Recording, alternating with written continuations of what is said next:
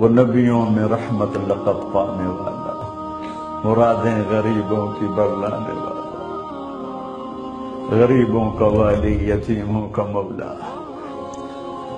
دیکھو میرے بھائیوں تم مسلمان ہو کر ایک دوسرے کو سلام کرنا چھوڑ چکے، ایک دوسرے کے پیچھے نمازیں پڑھنا چھوڑ چکے، ایک دوسرے پر کفر کے فتوے لگا کے بیٹھے ہوئے۔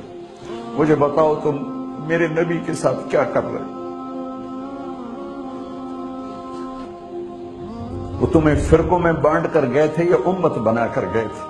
کیوں اس نادان کھیل میں اپنی زندگی برباد کرتے ہو؟ کیوں نہیں مسلمان بن کے رہتے ہو؟ جنت میں کون جائے گا؟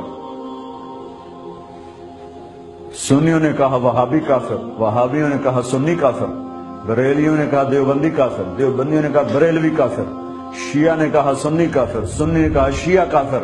جنت میں کون جائے گا؟ کیا اسی کا نام اسلام ہے؟ اسی کا نام عشق رسول ہے؟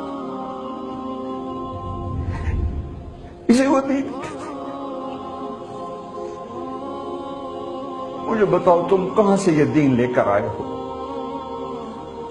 جس میں تم فرقوں میں بٹ گئے ہو، نفرتوں کی آگ تمہیں لگا دی ہے۔